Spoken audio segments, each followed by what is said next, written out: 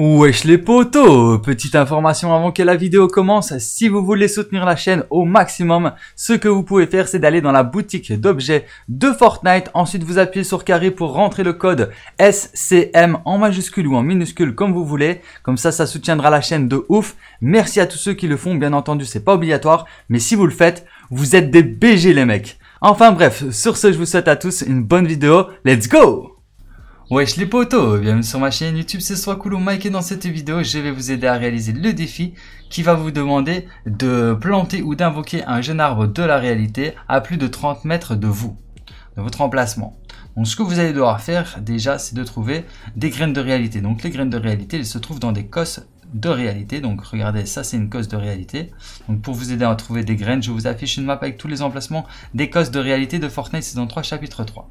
Donc quand vous voyez une cosse, ce que vous faites c'est que vous détruisez la cosse, hein, soit en détruisant la, branche ou soit en détruisant la cosse directement. Ensuite vous récupérez la petite graine qui est en train de voler comme ça. Donc on va attendre qu'elle atterrisse. Et quand vous avez cette graine, ce que vous allez devoir faire c'est de la lancer. Donc vous allez la lancer, regardez, hop, je lance la graine, hop, ça fait apparaître mon arbuste de réalité. Donc cet arbuste de réalité, vous allez devoir le lancer à 30 mètres de distance de vous-même. Donc pour réaliser ce défi, il va falloir prendre de la hauteur. Moi ce que je vous conseille en tous les cas c'est de prendre de la hauteur. Il ne faudra pas forcément prendre énormément de hauteur, mais un minimum quand même. Donc là je prends de la hauteur. Voilà, je vais juste ici. Et on va lancer la graine de réalité quelque part où je peux. Bon là évidemment je ne peux pas. On va lancer de ce côté-là. Et on va lancer la graine le plus loin possible. Donc là, ça nous... Ah, voilà, là. Ok, là c'est rouge, là c'est bleu. On va la lancer, on va voir à combien de mètres elle se lance. En plus, elle glisse. Donc là, elle est à 30 mètres. Voilà, elle est parfaitement à 30 mètres. Donc si maintenant vous êtes trop bas, euh, bah, vous montez, hein, vous essayez de monter sur une colline ou quoi. Hein. Euh, et euh, même sur le phare là-haut, vous montez sur le phare, c'est sûr, ça fonctionne. Hein. Le phare, il fait bien 30 mètres de hauteur. Donc plus vous allez être haut, plus ce sera facile de réaliser le défi. Donc là, je suis pas très très haut hein, quand même.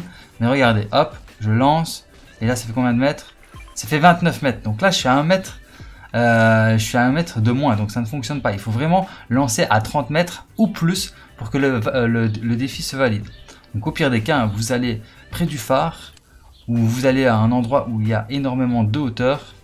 Si vous êtes en mode construction, bah, vous construisez une rampe jusqu'au jusqu'au ciel et vous lancez votre graine par terre. Et dès que vous aurez lancé votre graine euh, à 30 mètres de distance de vous-même, bah, là vous aurez terminé le défi et vous débloquerez les récompenses.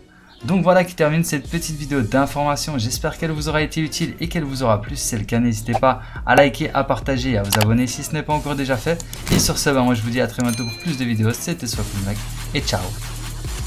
Peace